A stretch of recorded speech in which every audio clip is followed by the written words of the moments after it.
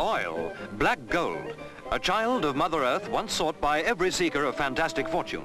Once the fuel for brave new stories of Texas, stories of gushers, of oil men bathing in their newfound wealth. Sadly, oil is now at home with commercial reality. But in the midst of reality, somewhere along the pipeline, someone forgot to relate that 111,000 tons of oil are produced every year in Britain. North of Nottingham, in the cow country of Eakring and Duke's Wood, the search for British oil has been carried on with the greatest success.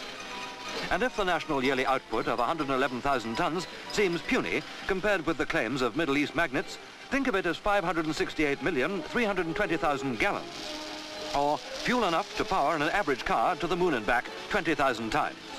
And still they're breaking into the heart of Old England for more.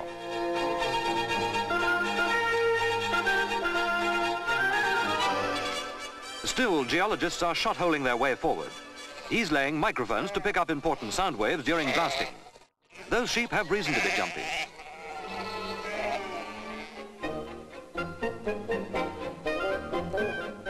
This is where those oil adventure stories ended, when geology and seismology took a hand in locating black gold.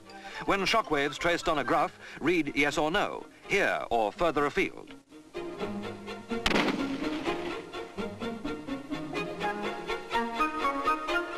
The search for oil in Britain has been going on since the First World War, when overseas supplies were threatened. But not until 1939 was this area of Nottinghamshire discovered to be as rich as it is proved.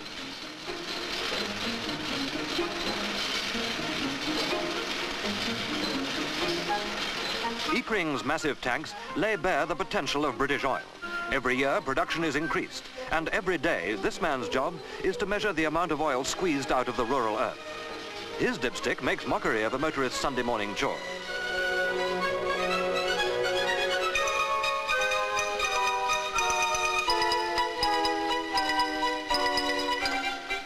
For the men who work here, geologists, drillers, engineers, men who discover oil and bring it up and pump it into waiting tankers, for these men, their location doesn't matter.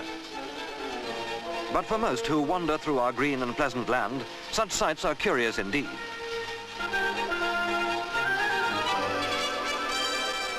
Oil doesn't mix with water.